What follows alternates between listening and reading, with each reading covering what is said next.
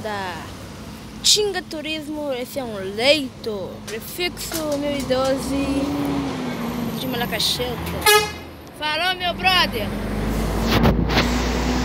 Isso aí, ó. bom